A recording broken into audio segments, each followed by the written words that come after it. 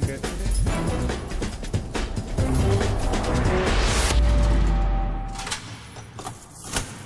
Morgens 6 Uhr. Morgen.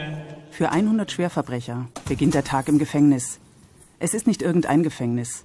Es ist die sozialtherapeutische Haftanstalt Hamburg-Fuhlsbüttel. Morgen. Rainer Schiele löst seine Kollegen von der Nachtschicht ab. Er ist der Schichtdienstleiter für den allgemeinen Vollzugsdienst. Schiele, klar?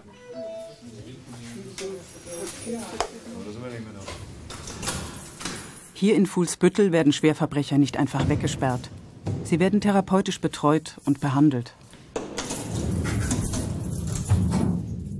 Und was gibt's Neues? Hm. Schlecht die Nacht gehabt, ne? Ja? Naja, die, ganze, die alte Nacht nicht gepennt. Aber es kommt halt neuerdings häufiger vor. Therapie, aber diese.